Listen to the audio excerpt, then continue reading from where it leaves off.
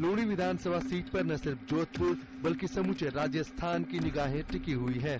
इसकी पृष्ठभूमि में है समूचे राजस्थान की राजनीति में भूचाल ला देने वाला भवरी देवी हत्याकांड। इस मामले में आरोपी मौजूदा कांग्रेस विधायक मलखान सिंह बिश्नोई जेल में बंद है।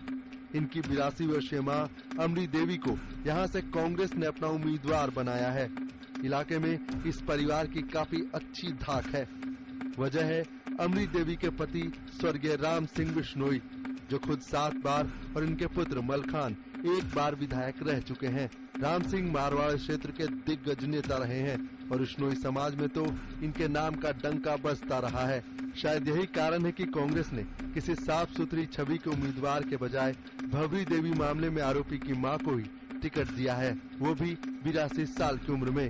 बेहद कम पढ़ी लिखी अमरी देवी ठीक से चल भी नहीं सकती, लेकिन पारिवारिक विरासत के नाम पर अपनी जीत की उम्मीद लगाए बैठी हैं। मेरा पति काम करेगा मेरा बच्चा करेगा, यही काम करांगा।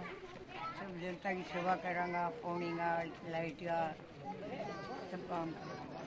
वहीं भाजपा के उम्मीदवार जोगाराम पटेल व्यंग्य करते हुए कहते हैं कि मतदाता दादी के उम्र की अमरी देवी की इज़्ज़त तो करते हैं, लेकिन किसी ऐसे उम्मीदवार को अपना विधायक नहीं चुन सकते जो विधानसभा में कानून बनाना तो दूर, जनता की समस्या भी ठीक से न रख सके। लूणी विधानसभा क्षेत्र की मेन समस्या पेयजल योजना है।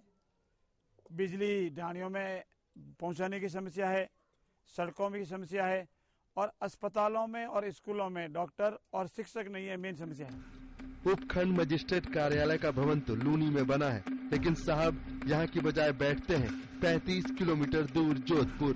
अस्पताल तो है पर डॉक्टर मिलते ही नहीं। सड़कों की हालत बेहद खराब है। रोडो की भी समस्या है पानी की समस्या है टमाटर नहीं आ रही है।